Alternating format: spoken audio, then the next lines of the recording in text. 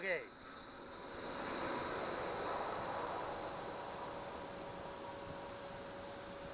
Tilting my Johnson 90 horsepower. There we go. I'm gonna tilt it up for you to see this thing.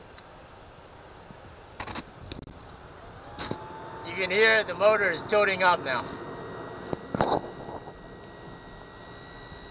You know, so it can tilt all the way up, Johnson 90 tilting up.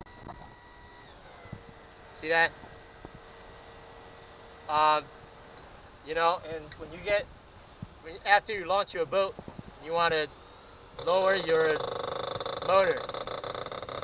Yeah, I'm not sure why it's doing that noise. If you know why, I don't know, maybe my um,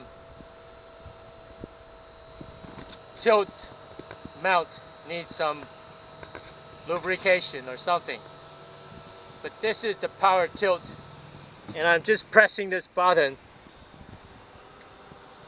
and then there's a stop switch at the bottom of the uh, position. It will not go any more further. So this is the tilt switch power tilt switch on the um, remote control handle here. And this is the throttle as well. Anyway so press up the motor will tilt up press down the motor will tilt down.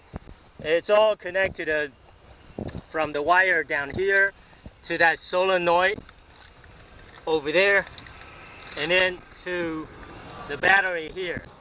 And this is the clip for the uh, camera and I'm just uh, disconnecting the camera now because I want to mount a um, video uh, camera. So I'm removing this uh, camera.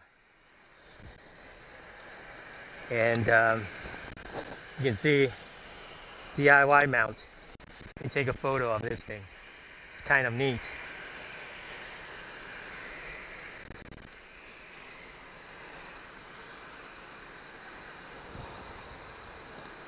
And that's my motor. Both Johnson 98 Honda 8 horsepower. I got a 9.9 horsepower, so if you're interested in the 8 horsepower, let me know. It's uh, idle forever. It's a gray motor. Okay, so anyway, so let's um, loosen this camera. I'm doing this on the water, so you got to be very careful because, uh, you know, if you drop into the water and that's it, you know, so, all right, here we go. So I just removed this camera here. I'm to use it on my way home, but for now, I'm to put it away. Um, just in here. It's good enough. You know, I'm just gonna put that there. And uh, and I'll try to start this uh, Johnson 90 horsepower. And uh, oh yeah, before I uh, hook up the um, Honda 8 horsepower, I need to do something. Um, yeah, I was trying to show you how to mount this Winbook camera. Oh, I gotta go back to the car to get